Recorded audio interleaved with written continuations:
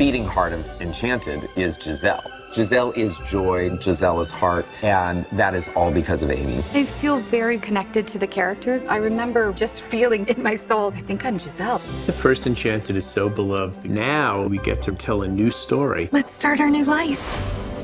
This film takes place 10 years after the first film. Pretty soon, this whole place will feel like home, you'll see. So they've moved to suburbia, Robert! Congratulations! And it all goes horribly wrong. Oh no! If this world is not to your liking, then you must change it. So Giselle makes a wish and turns real life into a fairy tale world. I wish. Jumping jelly sticks. It's time for a new adventure. But, you know, be careful what you wish for.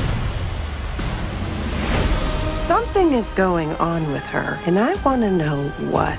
We have a delicious new villain played by Maya Rudolph. As a little girl, I wanted to be a princess. And then you grow up and you realize, ooh, the villain's really juicy. Oh, Giselle, what have you done? It's so much fun seeing a whole new side to Giselle. Stepmother! It was really fun to explore a different part of her. I like to call it wicked. Wicked good.